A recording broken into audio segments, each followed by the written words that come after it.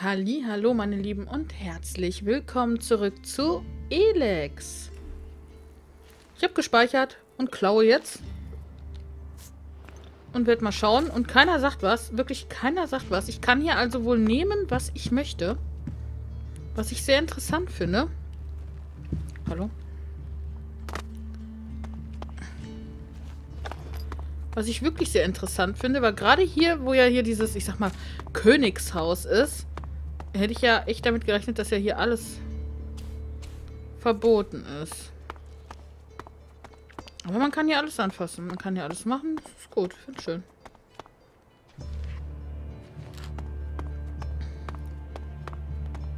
Äh, geht's dahin?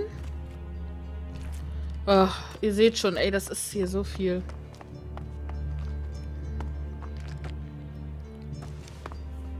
Wo hast du denn dein Schwert? Hier gerade aus wie bei Game of Thrones, ey. Ich will nur die Schwerter. Wo hat er denn sein Schwert?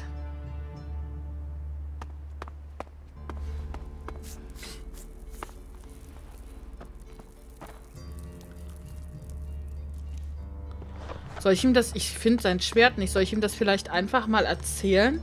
Ich war ja jetzt gerade überall und sein Schwert ist ja wirklich nicht hier. Ich erzähle ihm das einfach mal. Was meine Unterstützung angeht.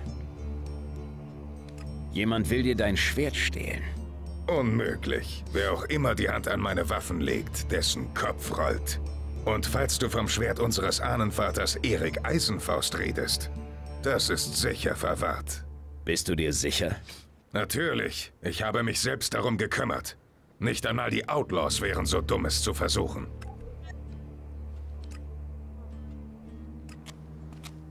Aber wo? Ich hab's nicht gefunden. Das ist nirgendwo oben. Das könnte in einem abgesperrten Raum sein. Was haben wir hier für einen Ort? Ich denke mal, das ist die Außenwelt.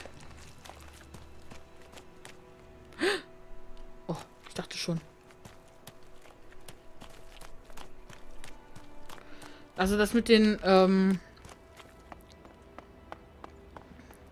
hier mit den Dingens, äh, mit den Sprinten, da muss ich mich noch dran gewöhnen, dass man das hier so runterdrückt. Das ist echt unangenehm. Hier hast du nichts verloren. Ist ja gut, ich gehe ja schon raus, ist gut. Du hast hier nichts verloren. Mach das ja nicht nochmal. Ja, ist ja gut, ist ja gut. Hallo? Leute, ist gut. Ist gut. Da ist das Schwert. Da ist mit Sicherheit das Schwert drin.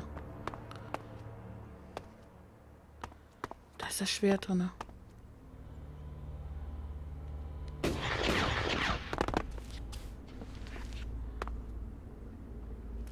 Ja, ich, ich stehe hier nur. Hallo. Ich stehe hier einfach nur so rum.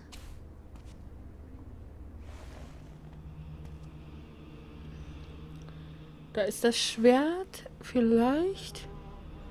Vielleicht nicht. Jetzt bist wieder bleiben.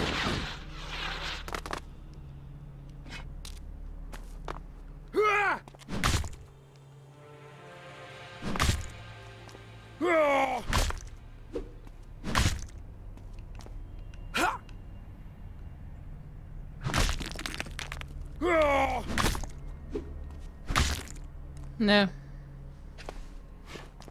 Kriegt man nicht hin.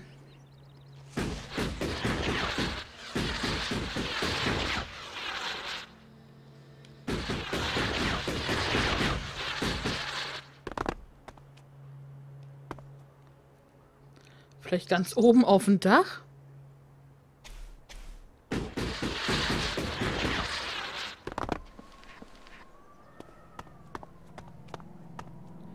Na, guck mal, wir da haben.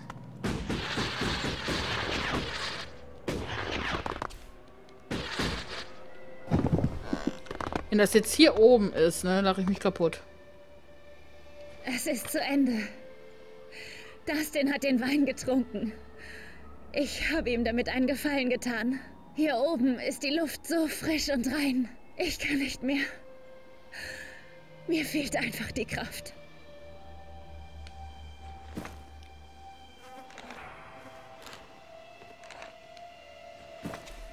Selbstmord, okay. Nicht gerade was Hübsches. Ähm. So. Nein, aber da. Nicht so schnell. Okay. Weit ist hier aber nichts zu sehen. Hätte ich denn hier auch hochgekonnt? Scheinbar. Aber nicht komplett hier hoch.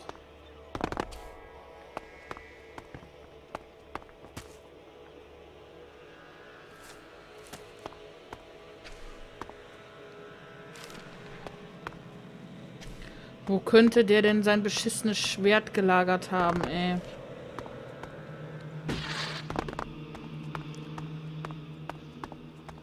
Ich geb's gleich auf.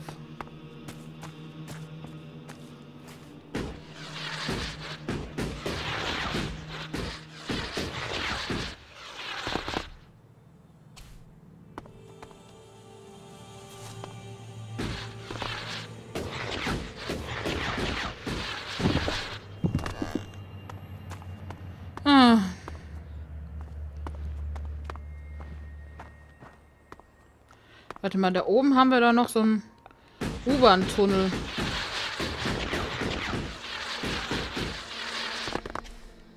Wir haben da noch so ein... Oh, ich bin... Oh, ich bin in so einer... Dingenshütte. Wir haben hier da noch so ein U-Bahn-Ding. Genau, das ist ein tiefer.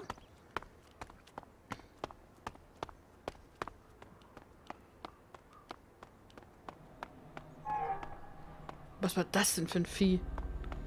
So, vielleicht ist das ja da drin. Und wenn das da nicht drin ist, dann höre ich, gebe ich auf.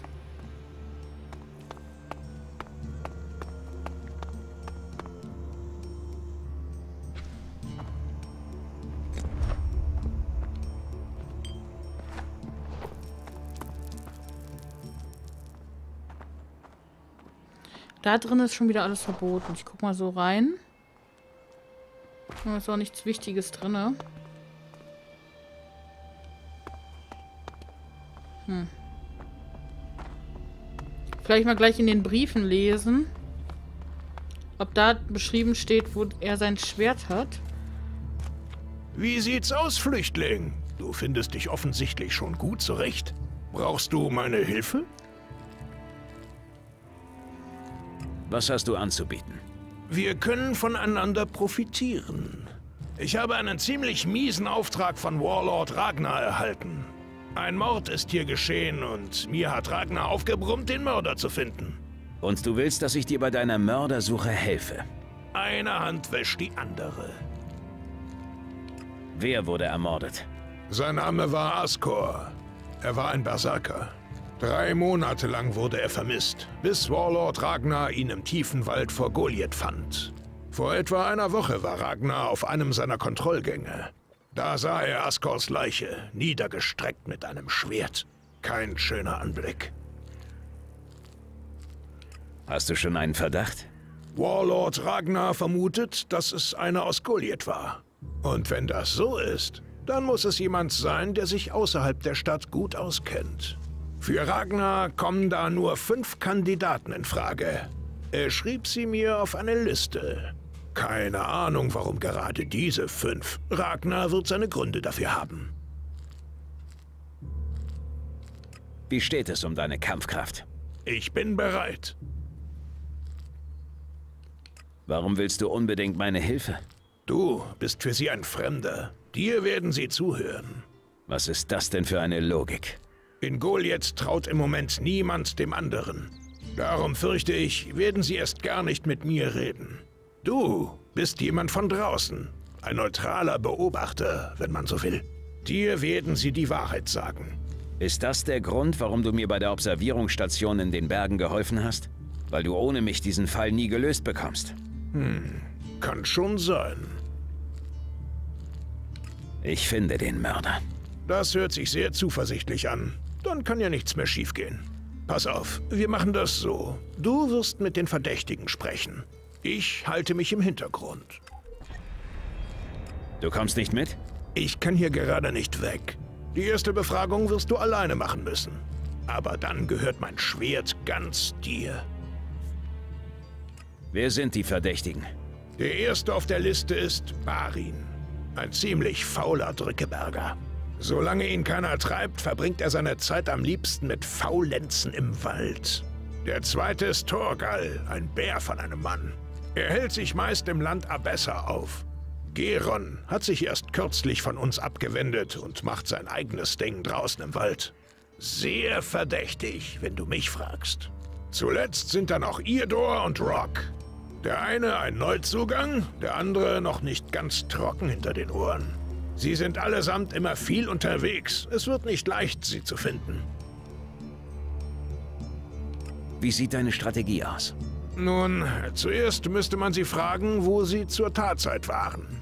Und dann... keine Ahnung. Ich lass mir was einfallen. Da habe ich keinen Zweifel. Ach ja, gut. Warum ist das hier blau? Heilerin?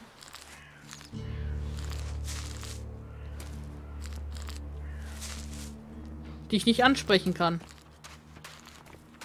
Okay, ähm...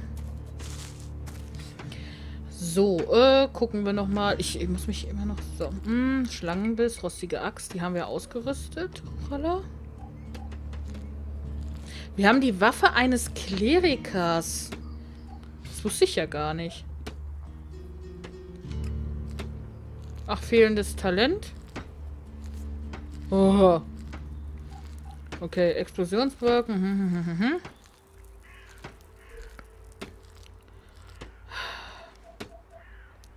Wir haben zwei Lernpunkte. Mit den Lernpunkten, das wird noch was werden.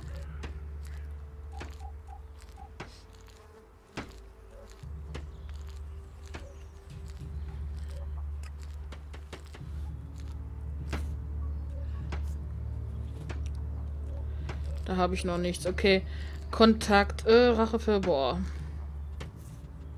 Gefährten. Zahn und Edan. Ähm...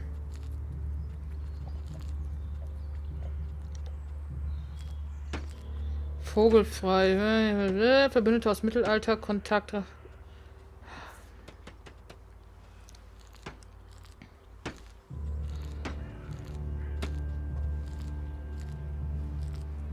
Ragnar eine besondere Trophäe in seinem Besitz hat. Ein Schild, das er will, dass ich es ihm bringe. Was zu tun. Es gibt immer was zu tun. Ragnar sagte, es gibt immer was zu tun. Darum soll ich den Setzer Idor aufsuchen. Da dieser scheinbar ein paar Probleme hat, wenn ich das getan habe, soll ich ihm Bericht erstatten. Idor soll sich im Umland bei einem entlegenen Weltenherz im Süden von Goliath aufhalten. Ja, genau. Aufbruch zu fernen Ländern, das weiß ich auch noch. Clanstreit. Ähm, soll ich nicht erstmal jetzt auch hier... Was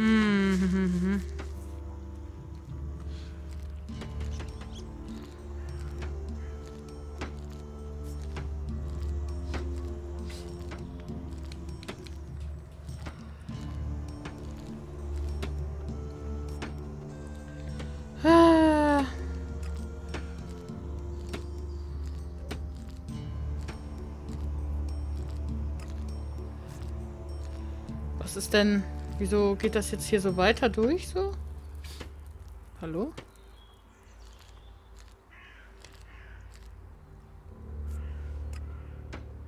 William? Ach so, das sind wir werden bestimmt diese Waffenschmiede. Genau. Moment, äh, nochmal gucken.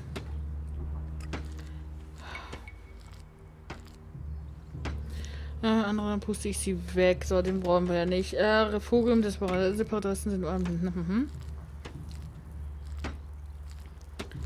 Äh, Zahn um Zahn, Indizienbeweise, Idor. Mit Idor muss ich sowieso re reden.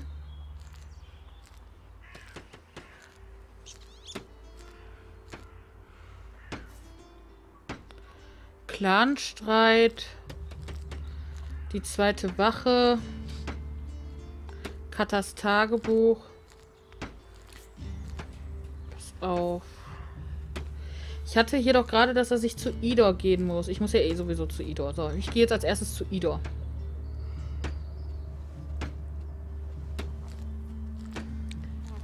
Fragen wegen des Mordes.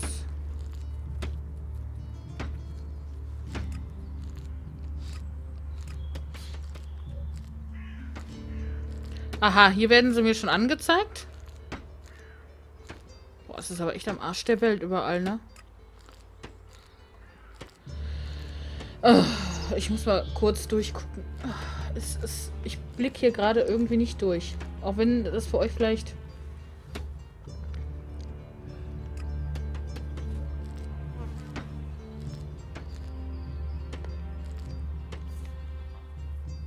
Okay, das ist sehr am Arsch der Welt.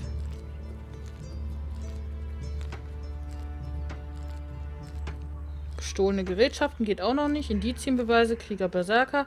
Also Befragungen, gut, das haben wir auch. Gesetz der Berserker. Mhm. Clanstreit, hoch.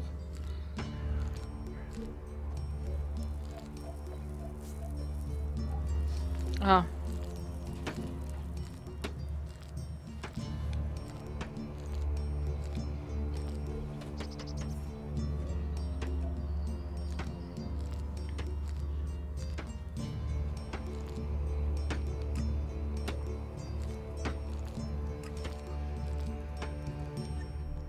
So, ich mache jetzt erstmal Clanstreit.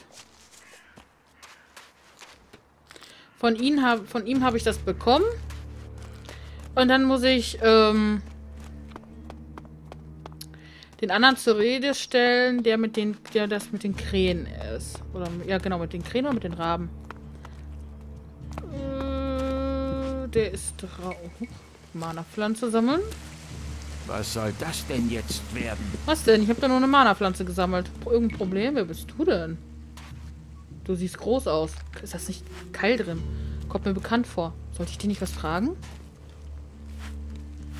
Sei vorsichtig beim Mana-Schrein. Es gibt schon so genug Verzögerungen bei der Elex-Umwandlung. Das Letzte, was ich jetzt gebrauchen kann, ist, dass jemand dort hineinfällt und die Mana-Produktion aufhält. Also nimm den Rat eines Heilers an und pass auf, was du hier anstellst. Was genau ist ein Heiler? Du hast Glück, dass hier gerade wenig los ist, sonst hätte ich keine Zeit, dir deine Fragen zu beantworten. Man nennt uns Heiler, da wir die Welt heilen. Wir heilen sie von der Verseuchung des Elex. Wir überwachen die Elex-Umwandlung hier am Mana-Schrein und verarbeiten das Elex zu Mana. Und da dieser Vorgang sehr komplex ist, ist er auch sehr empfindlich. Danke für die Warnung, ich werde aufpassen. Jemand mit Verständnis, das ist gut. Sei einfach vorsichtig. Ich habe als oberster Heiler schon genug Sorgen. Das Überwachen der Elex-Umwandlung hier am Mana-Schrein birgt einige Gefahren. Also wäre es schön, wenn du mir nicht allzu sehr in die Quere Moment mal. Ich spüre da etwas. Hä? Was bist du? Äh. Deine Präsenz. Sie verzerrt das Mana-Feld. Es ist fast so, als wärst du... Nein, aber so siehst du gar nicht aus. Ich bin ein Alp. Dich verraten oder wovon redest du dich nicht verraten? Nee, nee. Wovon redest du? Ich kann nicht genau mit dem Finger darauf zeigen. Naja, vielleicht täusche ich mich auch. Die Kunst, das Mana-Feld richtig zu deuten, ist keine sehr genaue Kunst. Was führt dich zu mir? Zeig mir deine Waren. Was macht ihr mit dem Mana? Unser Mana ist alles. Es ist das Leben selbst. Durch Mana sind wir in der Lage, mächtige Magie zu wirken. Kein anderer Mensch auf Magalan kann sich mit uns messen. Wenn man uns nicht kennt, mag man denken, dass wir schwach sind, vielleicht sogar zurückgeblieben, aber da liegen sie falsch. Durch das Mana können wir stärker und mächtiger werden als jede Maschine, die die Alps uns entgegensetzen. Aber es macht uns nicht nur stark, es bringt auch die Welt zum Erblühen. Sieh dich um. All das ist das Werk unserer Weltenherzen. Weltenherzen?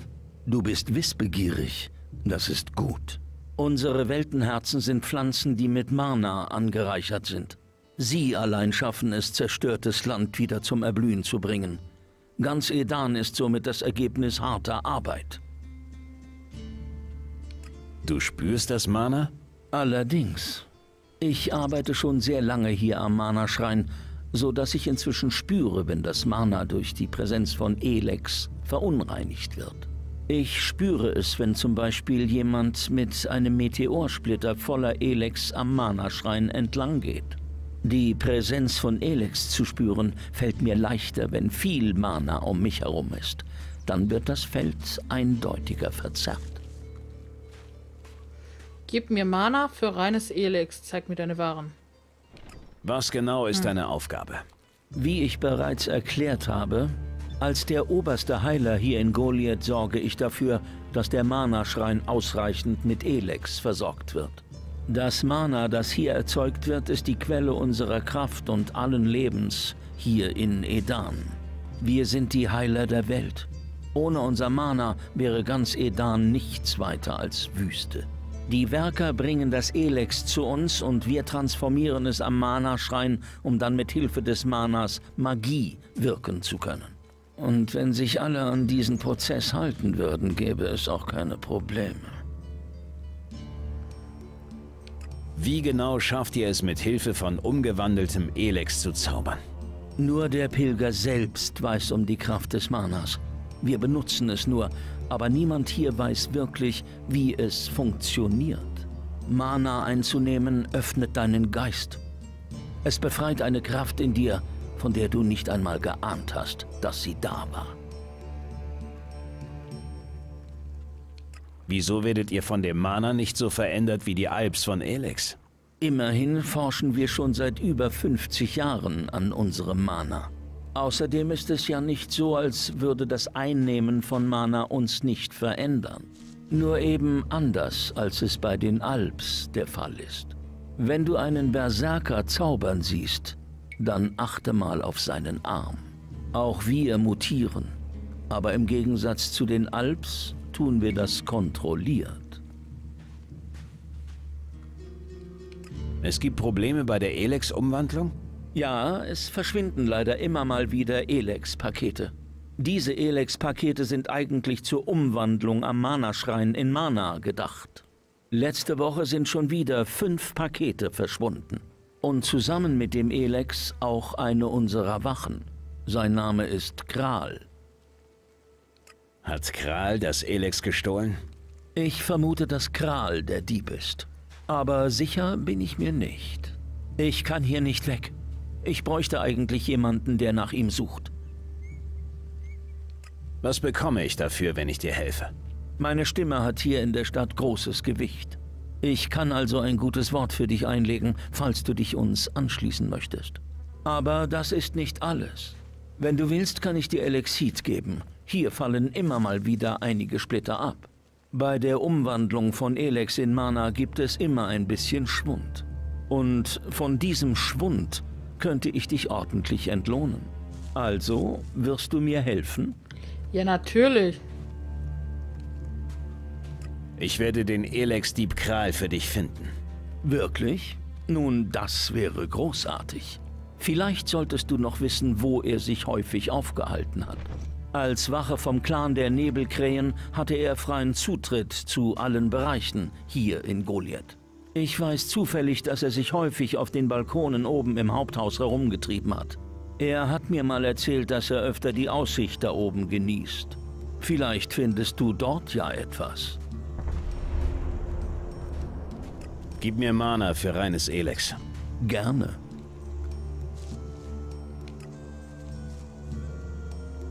Tausche Elex gegen Mana. Dreimal Elex. Mir fehlt noch etwas. Zeig, Zeig mir deine Ware. Sicher. Zeig mir deine Ware. Äh, äh, äh, Anleitung Heiltrank. Waffen hat er nicht, Rüstung hat er auch nicht. Er hat nichts Schönes für mich. Ich will da mal rein, ich will mal gucken. Und da soll ich jetzt nicht reinfallen. Jo, oh, ich darf das nicht aufheben. Das ist voll verboten. Sieht schon cool aus. Ähm, auch wenn ich jetzt da oben auf den Balkon eigentlich rauf müsste, ich gehe jetzt trotzdem erst äh, zu meinem gelben Punkt.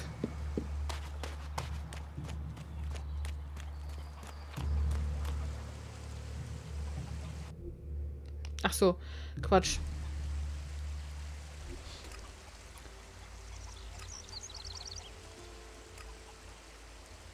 Eldur. Ich. okay.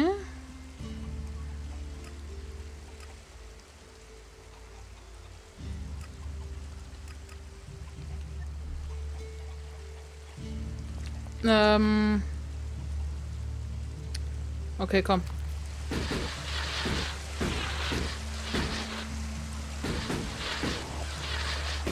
Das ist ja auch so geil, ne? Die Gesetze der äh, Schwerkraft haben überhaupt keinen Einfluss mehr. Mega cool gemacht.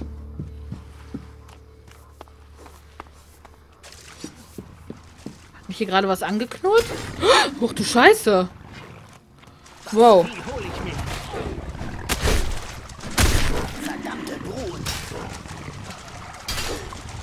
Was machen die hier?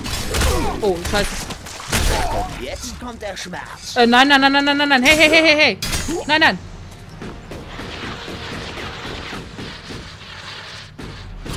Ach du Scheiße. Schitte.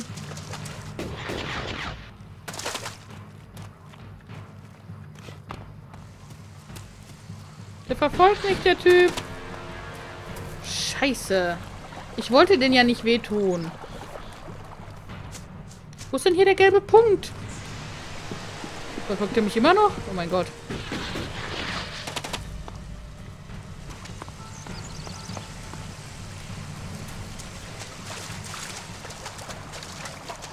Jetzt nicht mehr.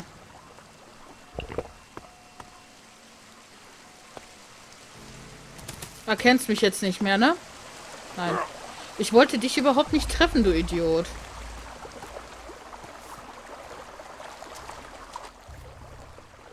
Ich habe gehört, du machst Ärger. Wovon redest du? Mir ist zu Ohren gekommen, dass du Ärger mit dem Eisenclan hast. Ärger mit dem? Das ist ja wohl die größte Untertreibung seit dem Untergang der alten Welt. Ich und meine Jungs bekommen bei Ora nichts mehr zu trinken. Und warum? Weil wir zum Hammerclan gehören. Wie soll ich mich denn nach der Arbeit entspannen, wenn wir hier nichts mehr zu trinken bekommen? Wer sind deine Jungs? Naja, die meisten anderen vom Hammerclan eben. Wieso willst du das wissen? Cormac schickt mich. Ich soll der Streiterei ein Ende machen. Na, dann viel Glück mit dem Holzkopf Oran. An uns liegt es nicht. Du findest Oran weiter oben in der Taverne. Falls du es wirklich schaffst, ihn umzustimmen, dann sag mir Bescheid. Ich könnte mal wieder einen ordentlichen Schluck vertragen. Äh, ja. Achso, jetzt wird mir das gleich direkt wieder das Neue angezeigt, wo ich denn jetzt hin muss. Okay, das ist cool. Aber Hammer eigentlich gerade. Ich, das war ja wirklich, das war ja wirklich aus Versehen, ne? Das ist, äh, dass ich den so leicht verletzen kann. Also finde ich ein bisschen blöd gemacht, dass man, wie gesagt, ja, dass man die überhaupt verletzen kann. Weil der stand ja jetzt auch voll im Weg. Es war ja auch noch nicht meine Ab Absicht, ne? Ähm.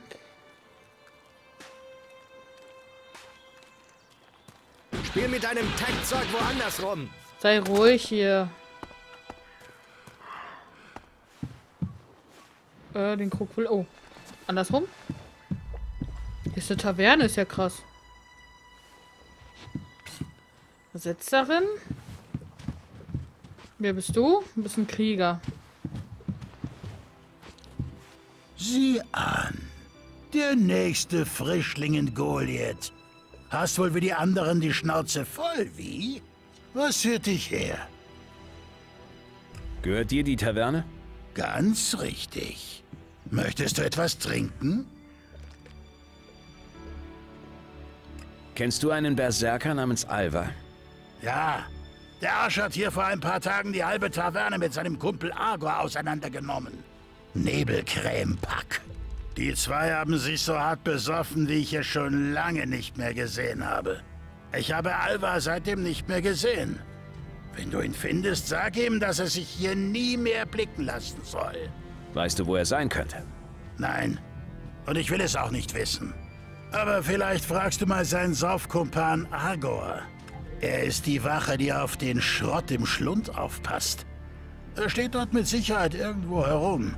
Schrott im Schlund? Erklär mir ein paar Dinge. Was erzählt man sich hier über die Truppenbewegung der Alps?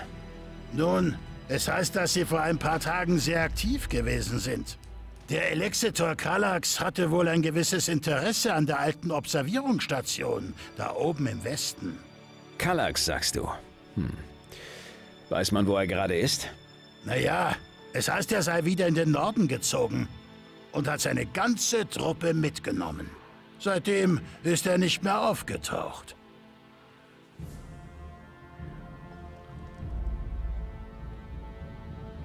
Mhm. Wie weit reichen deine Informationen über den Norden? Kaum weiter als in die ersten Grenzgebiete vom Hochland Abessa da oben. Wir Berserker sind gut beraten, wenn wir uns nicht zu weit bis ins Eisland vorwagen, wenn du mich fragst.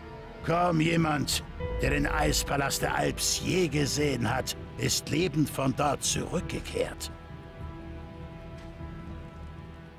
Du kennst jemanden, der schon bis zum Eispalast der Alps vorgedrungen ist? Hm. Du solltest dich besser nicht für solche gefährlichen Dinge interessieren. Ich denke, es ist besser für unser beider Gesundheit, wenn wir jetzt das Thema wechseln, okay? Eure Rüstungen sind sonderbar. Sie mögen altbacken wirken, aber das täuscht.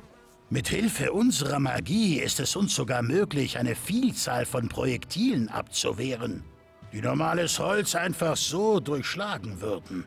Und gerade hier in Edan ist unsere Kleidung weitaus praktischer als die Metallschürzen anderer Gruppierungen. Wie das? Edan ist im Gegensatz zur Wüste oder den weiten Xarkors sehr bewaldet. Wenn du also auf der Jagd bist, ist es gut, wenn du mit deiner Umwelt verschmilzt. Zu viel Metall ist einfach zu auffällig und schreckt die Tiere auf.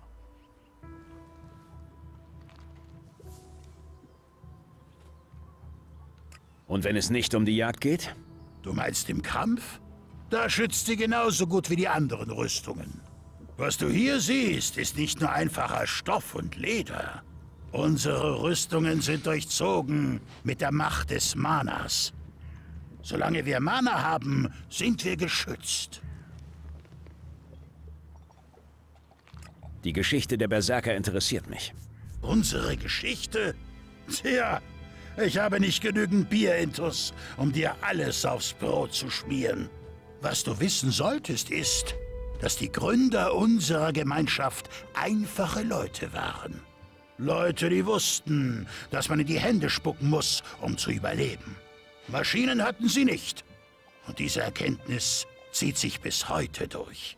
So, ich kriege schon einen trockenen Hals vom Quatschen. Wenn du mehr wissen willst, sieh dich nach ein paar Büchern um. Außer du kannst nicht lesen, aber das ist dann nicht mehr mein Problem. der komische Typ, der steht voll im Weg. Edan ist anders als der Rest der Welt. Du sprichst ein Thema an, das mich mit Stolz erfüllt. Ich selber habe die Landesgrenze zwar nie verlassen, aber es muss schlimm da draußen aussehen. Wir aber konnten mit Hilfe unserer Weltenherzen den Boden wieder fruchtbar machen. Was du in Edan siehst, ist das Ergebnis jahrzehntelanger harter Arbeit.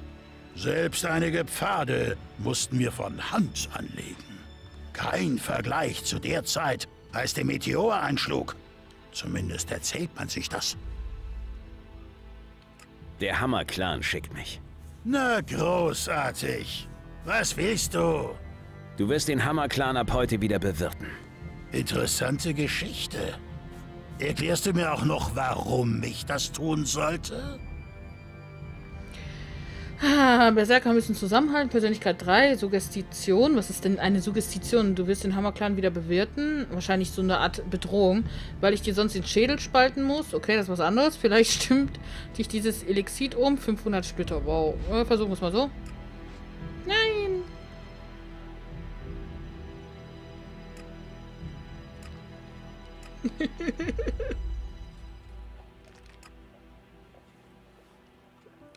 hey, du wirst hier als Verbrecher gesucht. Was? Melde dich umgehend bei Ragnar, wenn du nicht noch mehr Ärger willst. Aber das Denkst war, du? das war keine Absicht, bitte. Bitte. Das war echt, das war wirklich keine Absicht. Na gut, Leute, ich muss Schluss machen. Mhm. Und sage Tschüss bis zum nächsten Mal.